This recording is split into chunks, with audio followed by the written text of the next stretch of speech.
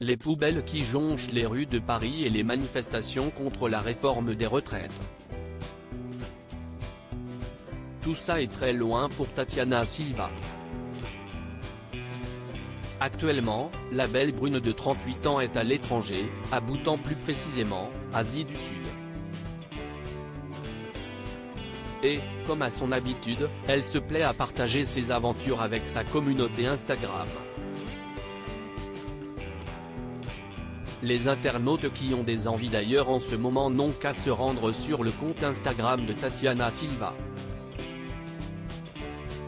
Ce sont tout d'abord des images d'un grand lac que la présentatrice du groupe TF1 a partagé, le tout avec une musique douce en fond sonore.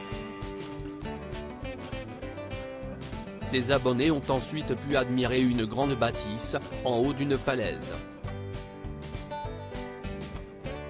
Elle s'est ensuite aventurée en pleine nature et a croisé des vaches. Love at First Sight, peut-on lire en légende de la publication?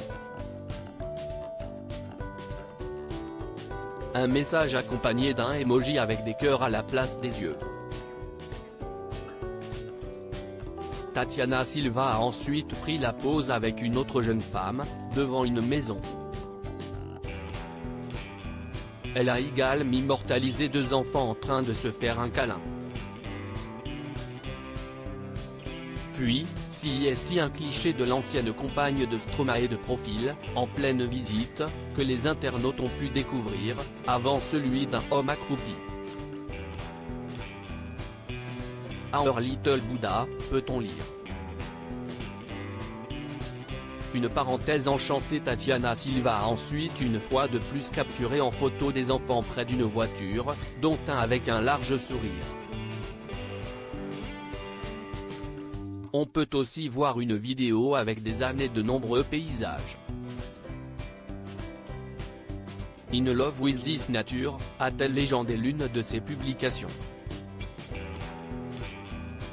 Au cours de son expédition, elle a découvert le yacht Chise et a apprécié ce mets, tout comme ses visites. Une parenthèse enchantée qui lui fait du bien, mais aussi à sa communauté. Ce n'est pas la première fois que Tatiana Silva partage ses périples. En janvier dernier, elle se trouvait déjà dans un pays d'Asie et elle n'avait pas manqué de poser à la plage, en maillot de bain.